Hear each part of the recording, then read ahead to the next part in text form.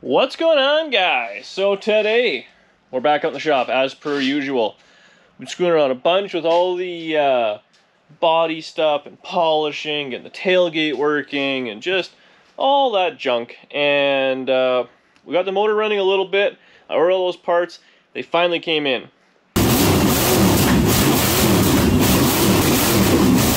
The problem is, well, one of many of my problems, um, the torque converter to the ring gear situation. I got to deal with that, unfortunately. So I'll probably be doing that at some point tonight or tomorrow or whatever. So I figured uh, we got to get this thing up in the air. We'll jack her up, and I'll kind of show you the situation. It's gonna be a pain to film. I'm not gonna lie. We just got to oblong some holes. Murder got me his Dremel tool uh, probably about a year ago. I never used it.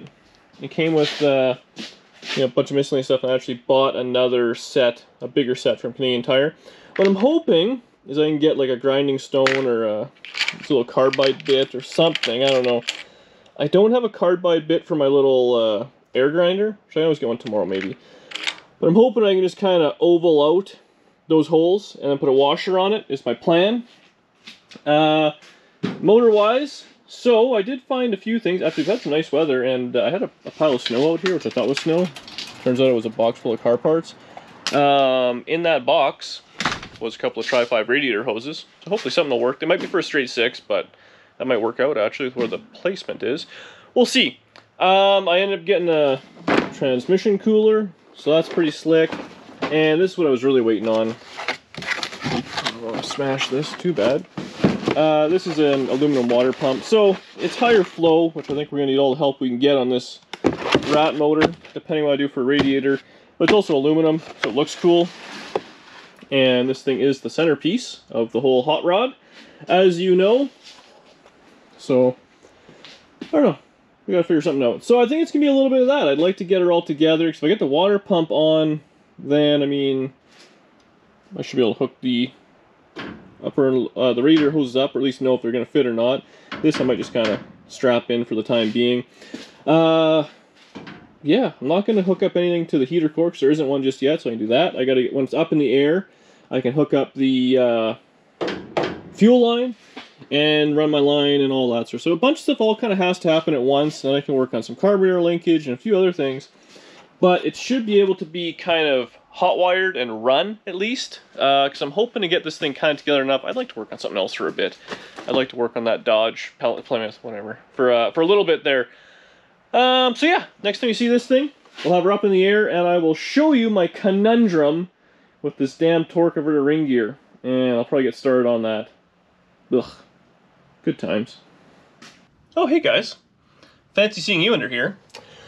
So, here's my conundrum. As you guys all know, at the back of the ring gear there's three, in this case there's actually six, but they're all the same. Uh, bolt holes, and this is a 44 from 70s, I believe. And this transmission is out of like a, it's actually a truck transmission, 700 R4 with a different tail shaft on it, um, but all the electronic stuff's been deleted out of it.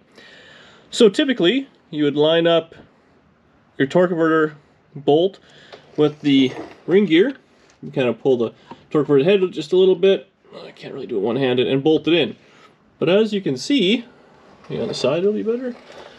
We're about a half a hole out.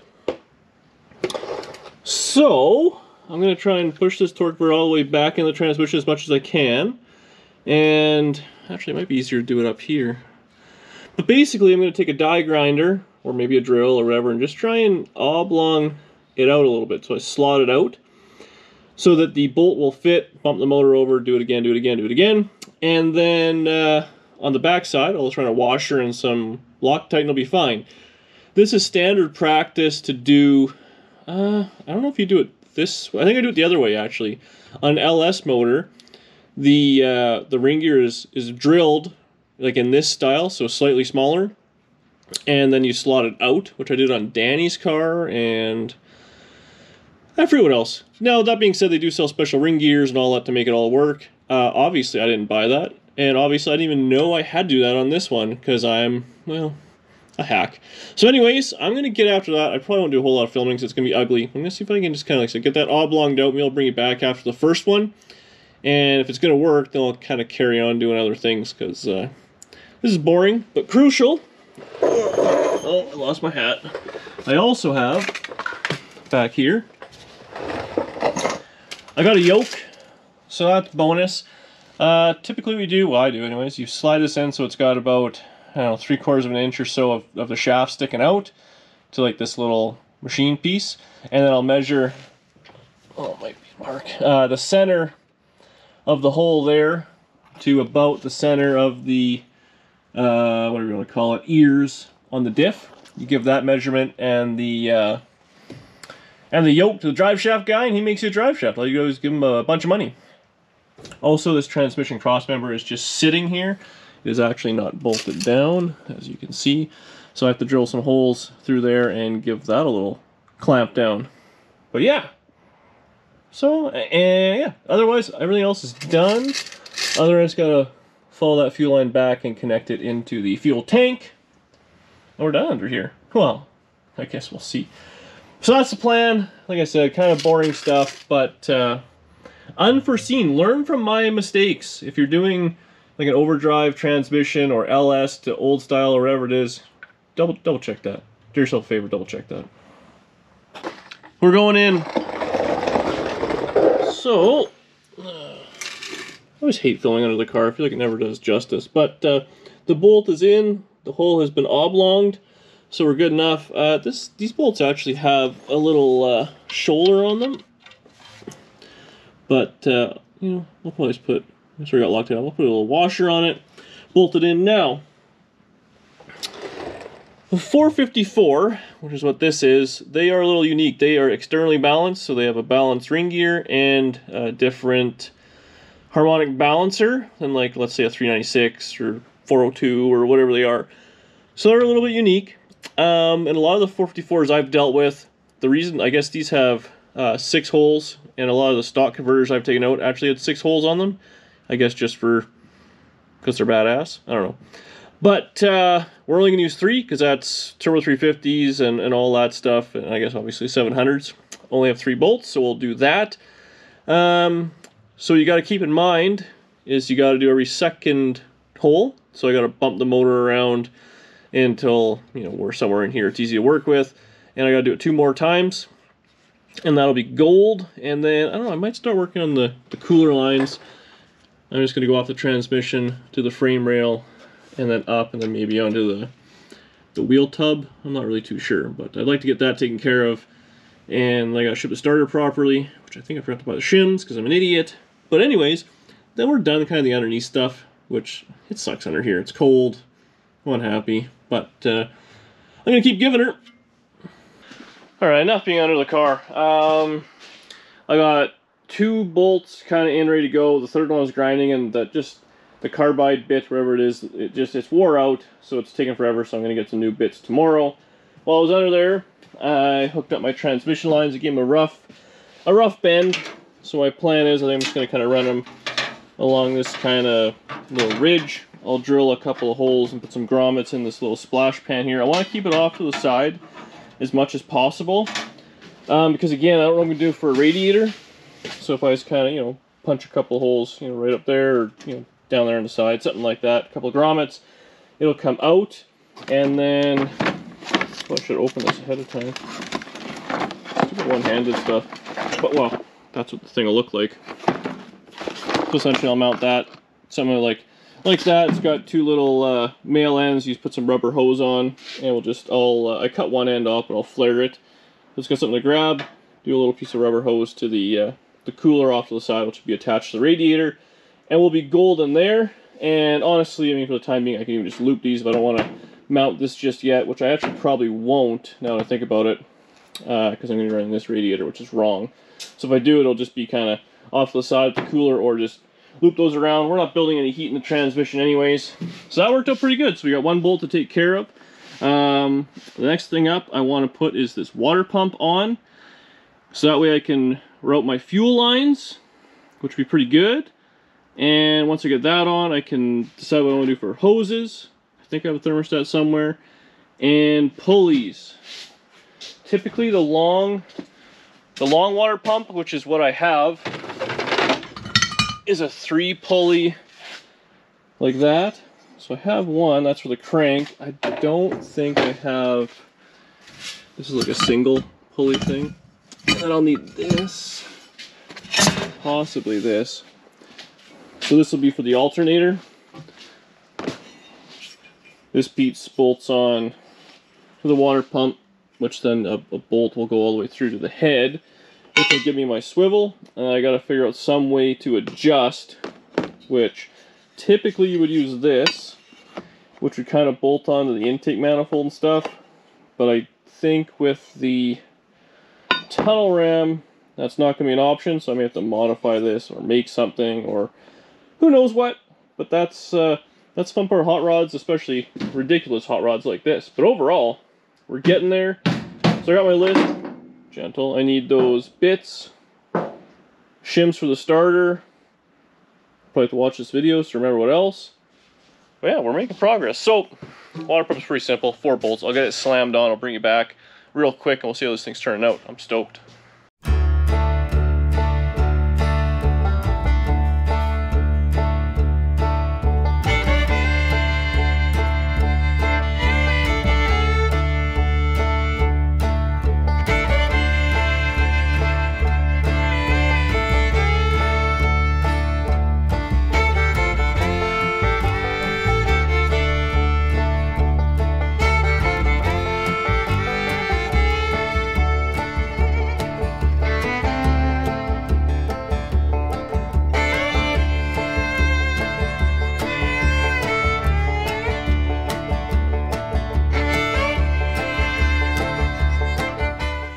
This all dialed together. Actually fit together pretty slick. Um, so now I just got to find a water pump pulley, which I think we might go for a little walk over to the shed and see what we got going on out there. It's cold and dark out. Uh, we got this all together. It's actually uh, got a provision for power steering if we ever go there. So all I do is I clean everything off, put a little silicone on the water pump, put it together. This I might be able to make work uh, if I kind of do a little bit of grinding. Um, this bolt right here, or this whatever slug, if that bolts on there, that gives you your adjustment. Unfortunately, up here doesn't work. So if I can bend this around, kind of heat up with a torch and slot it, I might be able to fit it onto this bolt hole right there. And uh, we'll be golden if that works out. I'm not gonna lie, I'm pretty excited about that. So we're gonna try that. I think I have a, a spare alternator. Whether or not it actually works is another thing. We can have it mounted and then, because again, you got to kind of make this snake around, which actually should work out pretty good. So if I can get that dialed together, and we're in pretty good shape. So pulley, alternator, and hopefully I have a long bolt there. You gotta slide them through. I'll see what I can find, and we'll uh, we'll go from there. All right, so we're in the shed of doom. Uh, this is where I just keep anything and everything. Uh, this is like a newer style water pump. It's an alternator I can make work. Uh, another alternator bracket, motor mounts. Some Dodge stuff. Hmm. I might be out of luck for a pulley. Uh, these boxes are all full of stuff as well. Alright, I'm going to do a little look and hopefully I find something. Otherwise, I'm buying something tomorrow.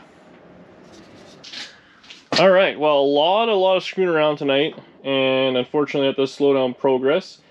And I've gotten to a point where I think I'm to leave it. So I've made a list. I found some rad hoses. I think that one will work. I will need an upper hose, which will just be a straight shot. So I'll just kind of, I think they're like 14 inch or something like that. Uh, so I'll get something like that. I did put this alternator on. This is just a junky one I had. This is a needs a voltage regulator, so I don't want to use this one. I'll get like a single uh, a single single wire job, but it gives the idea it'll fit. I can run the fuel line around. It'll clear here, which is good, and it's higher than this bolt if I end up using it for this bracket. Oh, the other camera stopped. Um, so again, you can kind of see about how that'll work. I'll need some trimming and cutting to make it work. Otherwise, I'll just end up slicing down here and just using that little section, which is the adjuster, which is all you really need because between this bolt uh, and that bolt, it's all tight, it's clamped into place. I, this is not going to work for a multitude of reasons, mostly because it's ugly. But it does kind of line up if I smash it into place, so that'll work out fine. All the pulleys will go around. I shouldn't have any real issues. And life will be good. And then I just got a couple of, uh, I got to block one of these off with pipe, uh, pipe thread stuff, and then these two, a nipple go in each, and I'll just run a hose across for coolant, hook up the fuel line, figure out the transmission, and I mean a few little odds and ends. I do got to get like fine thread uh, bolts or, or what do you want to call them. Uh, I'm probably just gonna get bolts. Cause I don't think I'm gonna run a fan. The fan would be in the the, the shrouding or whatever you want to call it there, the core support, which I won't be doing. Uh, the radiator's gonna be on the outside, and I could put a giant fan on the backside as a as a puller fan, which I always a puller's better than a pusher because there's gonna be lots of room there. I think it should work out pretty slick. In my head, anyways, it's working out. So I'm just going to do a quick little inventory of everything I need, just one more once over, because tomorrow we should be able to button this thing up, get the transmission dialed, shim the starter properly, put water in it, have it actually circulate. Oh, if I get a belt. The problem is you kind of need this all together before you measure up for a belt.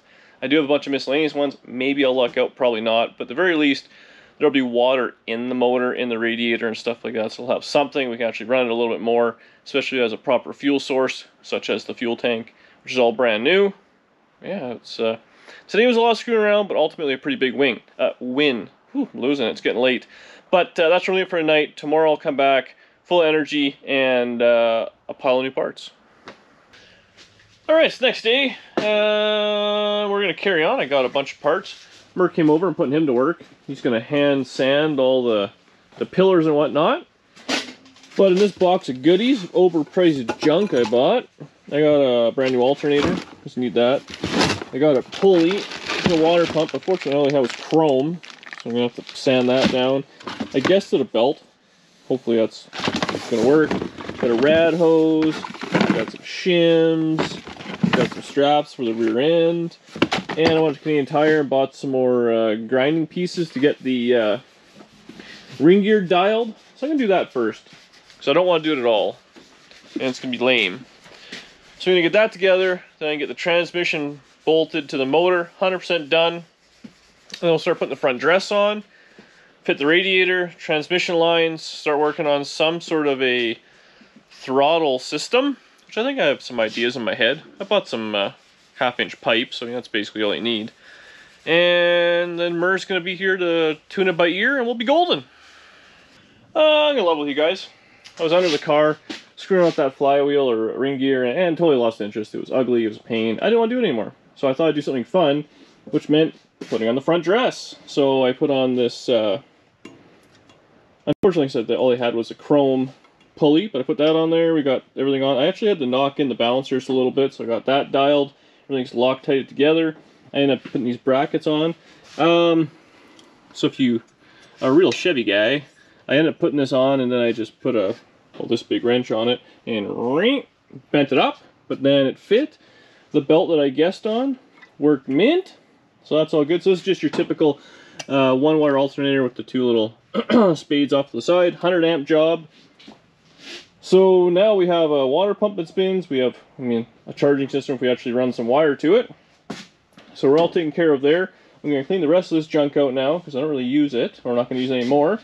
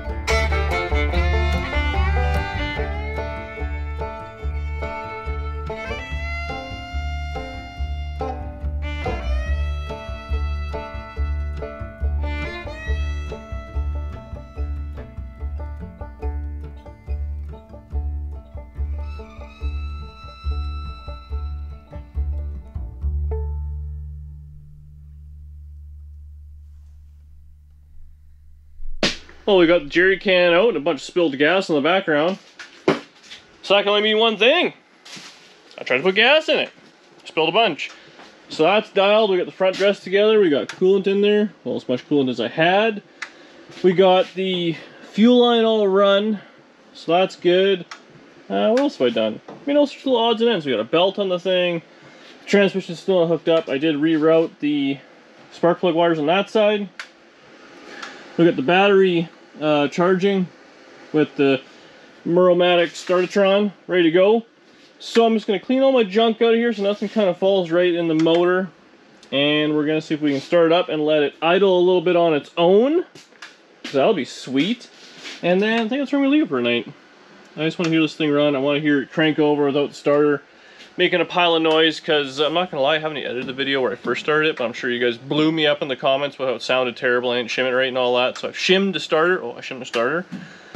I think the only real issue I have now left is the damn ring gear to uh, torque converter, which I will work on.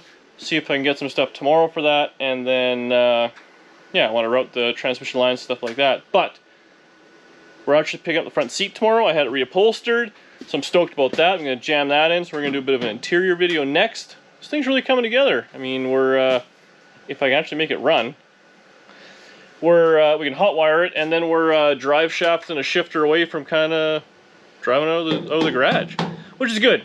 I'm not going to lie. I'm ready to work on the Dodge. All right, I'm going to get cleaned up and I'll bring you guys back. All right, so everything all dialed together. Um, so, as you guys know, or maybe not, but uh, I'm on a little WhatsApp chat with a few other YouTubers and stuff like that, and they're all uh, being a bunch of degenerates tonight, and they're doing, they're shotgunning beers, a little shotgun competition. Well, as you guys know, I don't really drink, and uh, I figured I would show them, uh, you don't have to drink to have fun. So we'll see if we can fire this thing up and give a few revs for those guys, so you guys get to watch me uh, show up to my loser buddies on the internet. And then we'll do one for us.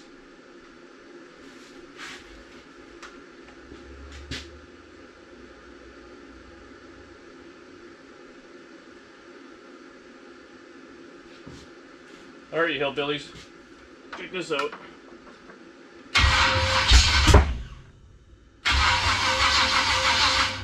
It's more of a two-handed operation.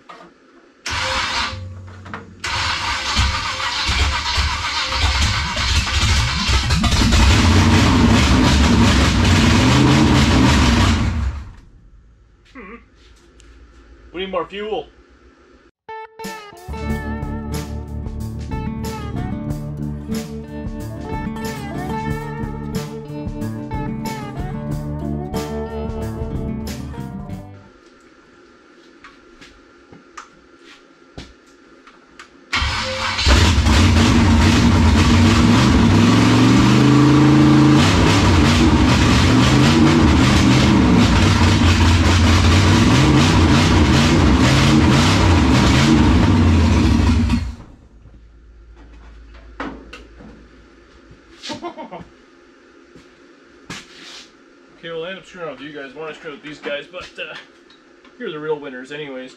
So we got some fuel leaks here.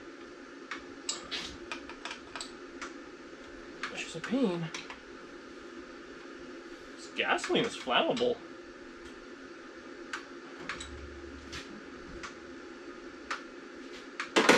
Runs good.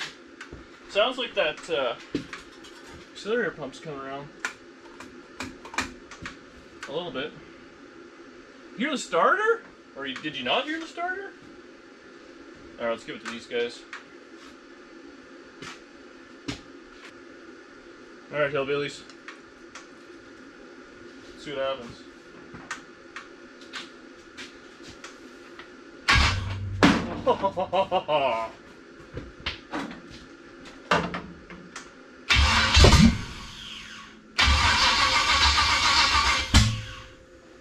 Man, this one line's just poor on fuel.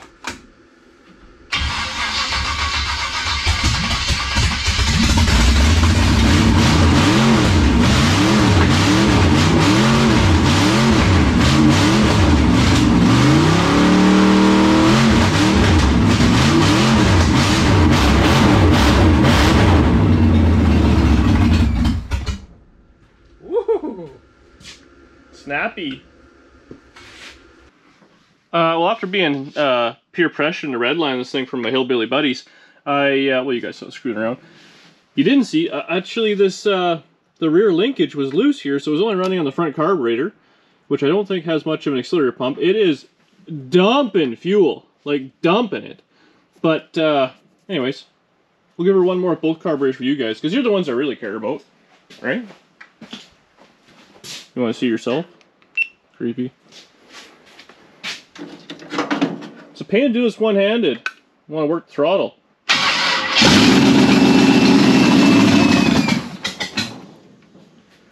We'll get there. Look at this absolute dripping mess of chaos. Come on.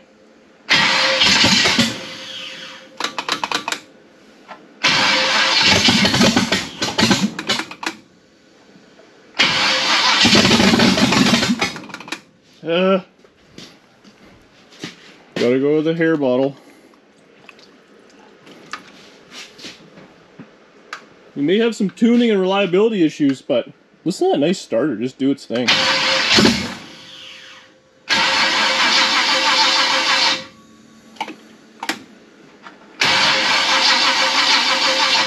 Oh, it might be flooded.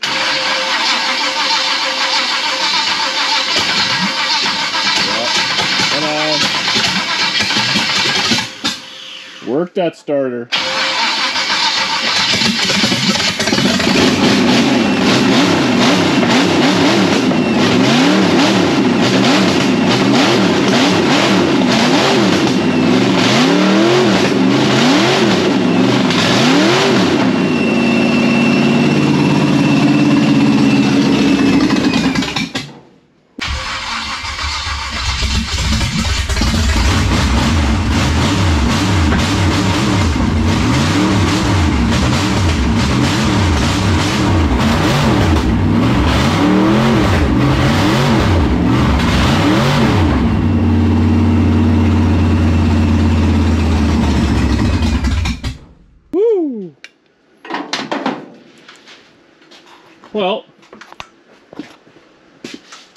11 o'clock.